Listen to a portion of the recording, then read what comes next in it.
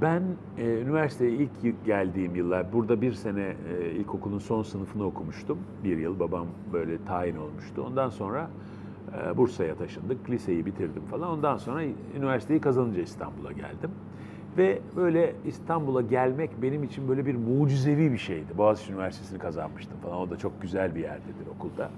Böyle kapı, e, köprü yapıldı 1974'te. Oradan geçerken falan, oh Allah'ım geldim iyi ki falan dediğim bir dönemdir bu. Ee, fakat zamanla e, gerçek anlamda bir aşk ve nefret ilişkisine dönüştü. Benim arzu ettiğim şeyler olmuyor bu şehirde. Yavaş yavaş hakikaten kaç, yani ben 78'de geldim. E, 30, 40, 41 yıl. E, gözümün önünde oldu yani her şey. Yani şehir çok büyüdü tabii ki. Yok edildi, var edildi. Yani bu şehre hala aşık olmamaya imkan yok. Duruyor birçok şeyi. Ama şu benim için hiç değişmedi. Boğaz'dan falan uzakta da yaşadım, yakında yaşadım.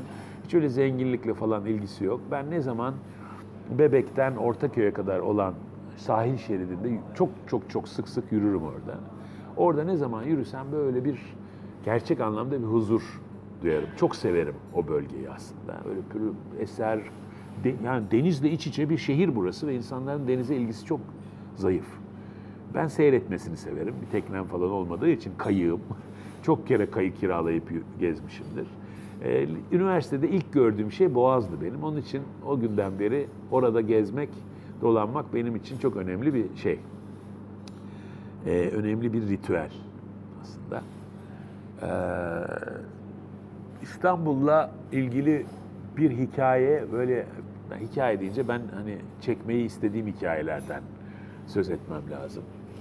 Muazzam bir hikaye okudum bundan yıllar önce ve yani çok kafama takıldı. Çok basit bir, basit demeyeyim, çok garip bir dedektif hikayesi.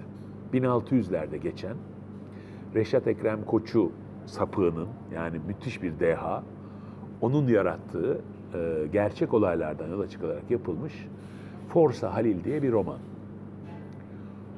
Sonunda da bu romanın hakları, e, sinema hakları yazarına aittir yazıyor. Yani o biliyor ondan film olacağını. Ben böyle bir muazzam dedik, öyle hiç e, Avrupa, Amerikalı böyle garip girift e, dedektif hikayelerine beş basar. Müthiş bir hikaye, bir roman. Müthiş karakterler var ama daha önemlisi dünya bizim bildiğimiz gibi değil. Çünkü sokaktan anlatıyor hikayeyi. Ve hani o memento falan filan gibi öyle bir kurgusu var ki zaten esas sinematografik olan şey roman tipi diyorsanız kurgusu çok önemli. Öyle bir kurgusu var ki seni başladığın yerden daha geriye, sonra daha ileriye, sonra tekrar başka yere götürüyor ve yavaş yavaş yavaş yavaş birleştiriyorsun bir bulmaca gibi. Bulmaca çözdürmek de sinemada ve romanda çok zevkli bir şeydir. Yani seyirciye zevk verir.